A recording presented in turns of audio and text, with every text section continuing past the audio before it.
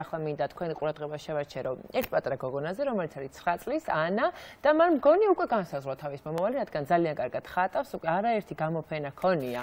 აა თავის 9 წლის ასაკში გამართული, ახლა უფრო ახლოს მინდა გავიცოთ ის და ამაში ნატალი ტუღუში დაგვეხმარება.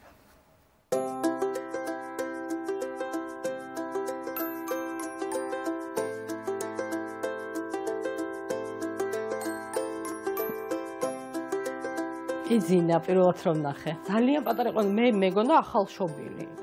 აი რამდენიმე კვირის მეგონა და აღმოჩნდა რომ იყო 7 თვის. და სამახსოვრებელი გარეგნობა ქონდა, იმიტომ რომ ფერები ქონდა, რაღაცნაირი ჟღალითმა ქონდა და ძალიან ლურჯი თვალები. მე ვარ ნინო კალანდია, ანა კალანდიას დედა.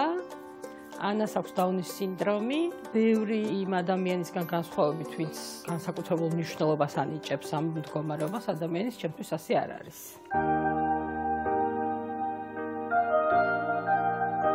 შემთხვევით შევხვდით ერთმანეთს, სრულიად დაუგეგმავად. აღმოჩნდი ბავშვთა სახლში. იქ მე მივედი როგორც თარჯიმანი. სამსახურებრივად მომიწია მისვლა. საერთოდ არ მიფიქრია არასოდეს. არც იმაზე რომ მე თვითონ გამეჩინა შვილი და არც იმაზე არ მიფიქრია რომ ბავშვი ამეყვანა. ყველაფერი შეცვალა, აბსოლუტურად სხვა ცხოვრების წესი მქონდა. აა არ მქონდა ესეთი პასუხისმგებლობები არავის მიმართ. ანა არის ძალიან კარგი გოგო.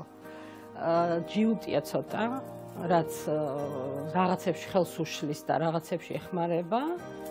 არის ძალიან კეთილშობილი, ადამიანების მოყვარული. ყველაზე ბედნიერია მე რომ სახში მოვდივარ. ძალიან უყვარს მე რომ სახში ვარ და აი საშინაო ტანსაცმელს რო ჩავიცვამ, მე არის ხოლმე უკვე 7-ად იცის რომ აი მორჩა სახლიდან აღარ გავალ.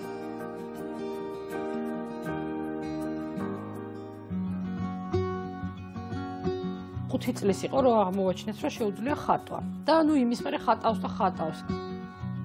ძალიან ისეთია მგრძნობიარეა განიცდის რაღაცეებს კარგად ესმის რაღაცეები და აი ხა უკრაინის ომთან დაკავშირებით ერთ-ერთ დღეს ძალიან ცუდი ამინდი იყო ქარი და გარეთ ვერ გავედით და ძალიან ცუდია მაგრამ თელი დღე ტელევიზორი იყო ჩართული და ამ ყველაფერს უყურებდა და მეც და ანას ძიძაც რო ხვდებოდა რომ რაღაც განწყობა ცუდი იყო იქ დახატა ძალიან უცნაური ნახატები, ანუ ამდენი შავი არასოდეს არ გამოუყენებია მანამდე.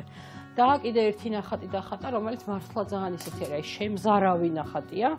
არ ახასიათებს ანას ეგეთი რაღაცების ხატვა, მაგრამ როგორც ჩანს, მიხვდა რომ რაღაცა ძალიან ცუდი ხდებოდა. ძალიან ბევრი თითქმის იდენტური ისტორიები მაქვს მოსმენილი, როდესაც პირველად უთხრეს მშობლებს, რომ გაუჩნდათ შვილი დაუნის სინდრომით.